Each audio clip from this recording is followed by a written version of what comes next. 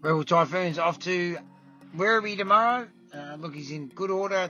Obviously a quick backup, but um, obviously had a, a, really big blow the other day. Um, so he probably needed that run. Third up mile, uh, drawn one, should just roll forward, get in a nice spot, and um, he'll, he'll, be disappointed if he didn't sort of get the job done. Looks a nice race for him.